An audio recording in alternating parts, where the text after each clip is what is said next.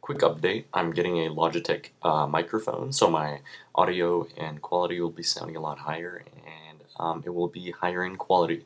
Anyways, uh, let's get to this. I will show you how to force quit an application if it is frozen, if you cannot quit it by uh, doing Command Q or quitting it directly like that from the Safari tab or any application.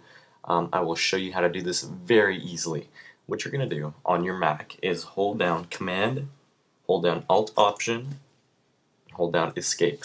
And this Force Quit Applications uh, little box will pop up. It is the same as a task manager on a Windows computer, basically. So you can select with your up and down arrow keys. Um, you can select Safari, hit Enter, hit Enter one more time, and it will quit it. Or you can click Force Quit, Force Quit, and it will quit. Uh, that's how easy it is to use. Once again, it is Command, Alt, Option, Escape. You're going to hold all three of those down until this window pops up. Peace, guys. Hope this helped. Hope this helped. Subscribe. Thank you.